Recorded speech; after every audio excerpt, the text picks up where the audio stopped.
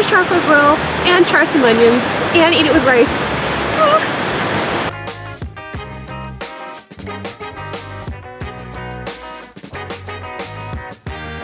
We're gonna grate some garlic.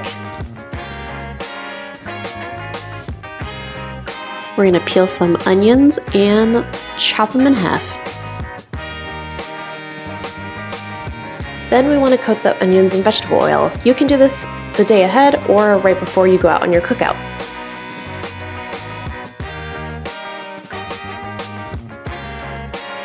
Now it's time to put the marinade over the steaks. Have soy sauce, the garlic's already in there, some brown sugar for a little bit of sweetness, and black pepper. This is something that's not too traditional, but um, an ingredient I like to add for a kalbi marinade, and sesame seed oil, toasted, of course. Get it nice and coated and leave in the fridge overnight or at least four hours. About an hour before you're ready to grill, make sure to soak your planks in some water. I'm using a river. it's time to get the grill ready. What I'm doing is getting some pieces of paper or whatever you have laying around to put underneath the coals so it's easier to light. And then we're going to pile it on on top. And I'm arranging it to make sure that every single coal gets lit.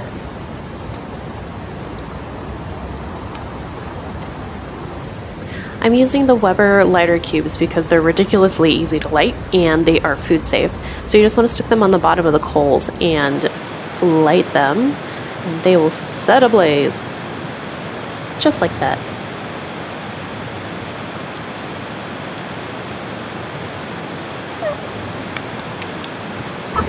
Alright, so now we're gonna uh, put the grill on top of these hot coals to burn off some of the, uh, the bits from the last cookout.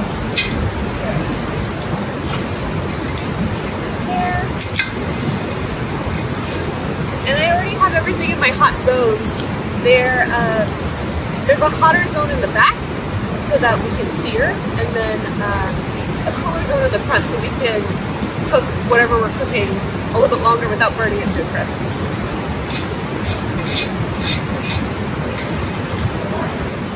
I'm doing now is wadding up a piece of foil so that it can um, scrape off the bits that were there before. It'll be easier because it's hotter, real hot.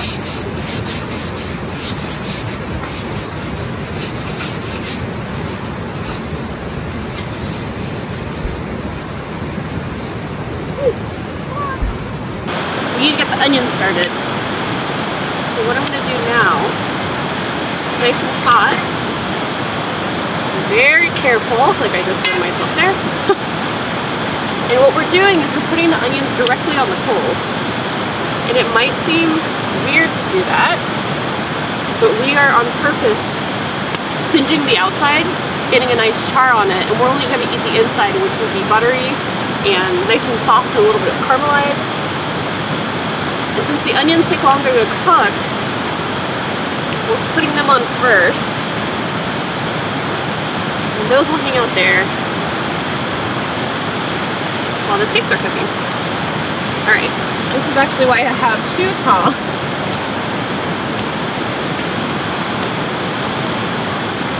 A little safer. There we go.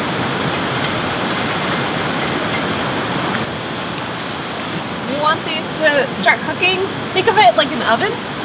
So I'm gonna open this about halfway on the lid to get some airflow in pop it in like that. So that can make sure that the fire, uh, the coals are still going and don't burn all the way out because the air is coming in to give it some oxygen.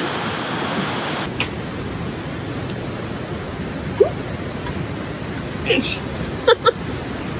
I keep looking at that camera. okay, so um, we're gonna make some rice because rice is perfect with a uh, ribeye and kiddu. So I keep saying ribeye, but I mean New York strip. The good news is both steaks would be great for this recipe. Um, what we're gonna do is bring it up to a boil and then turn down the heat and like let it hang out and that's when the, the grains actually cook. So Let not catch on fire. Okay, we're bringing this to a high.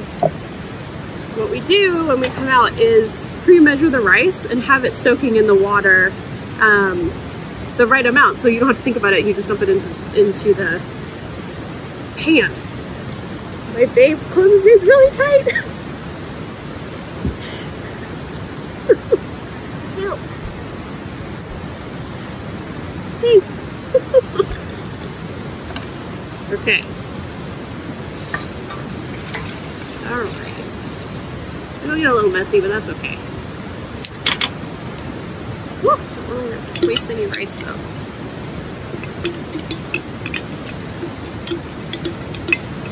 Determined to get every single grain. Alright. Alright, so we're gonna bring it to a high. Let it boil.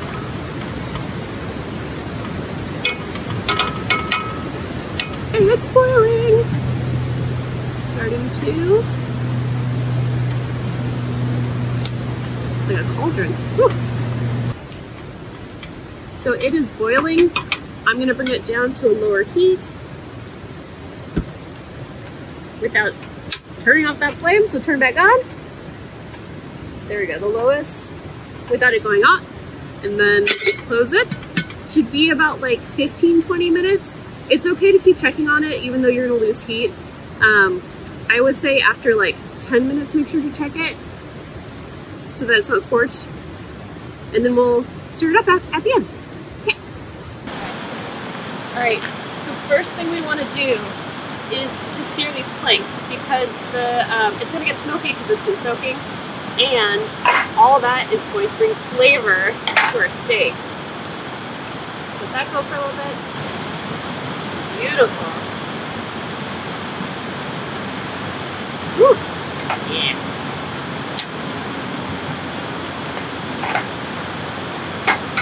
That's good. Nice. What we're gonna do now is sear the steaks, and then we're gonna put the steaks the steaks on top of the planks. So.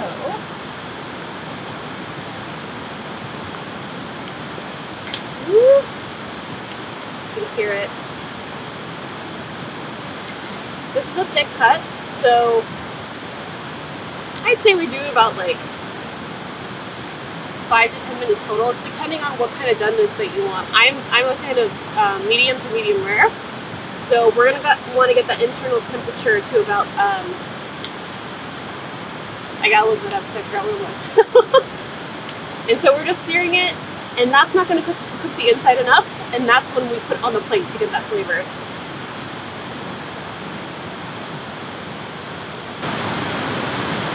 Woo! Oh my god. Put that searing. Now, we're gonna put these steaks, oh my god, looks so good, on these planks.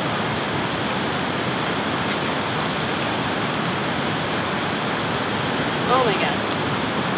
So good. Things like that. Make sure to use thermometer.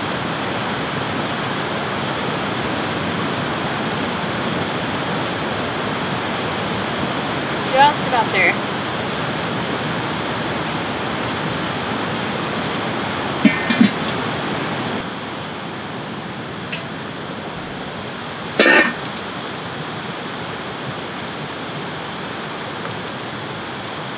Oh yeah.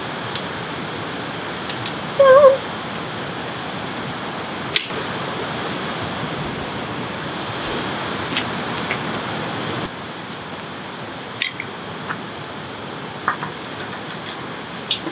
All right, now we're gonna take the onions off. Nice and charred and caramelized. Ooh, hot.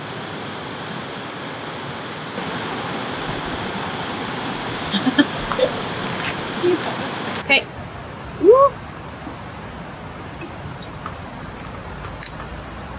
Very nice. Woo.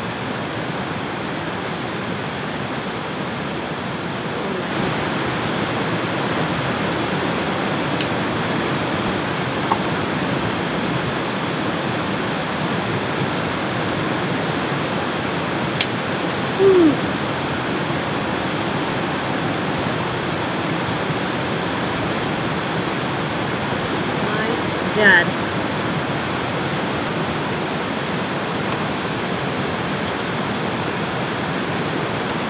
Yeah, I'm so hungry.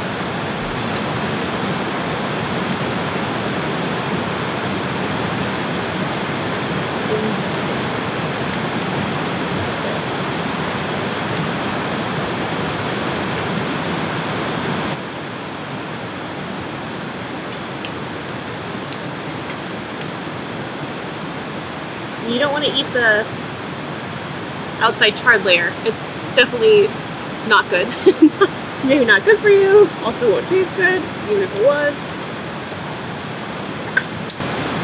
Oh my goodness.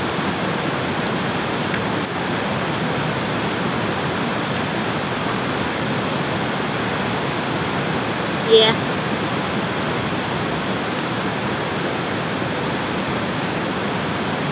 Perfect. And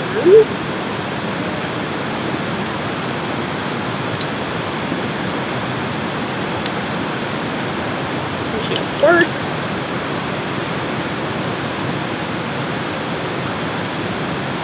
These are some Fresno chilies. Sesame seeds.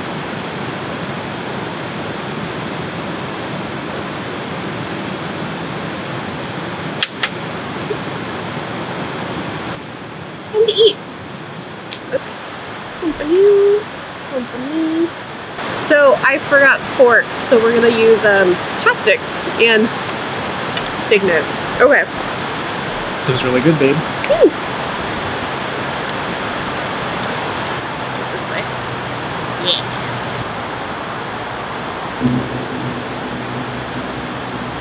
Mmm.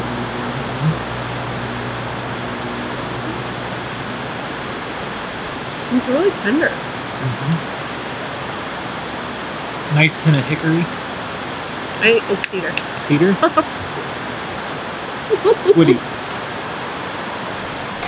It's nice because you can still um,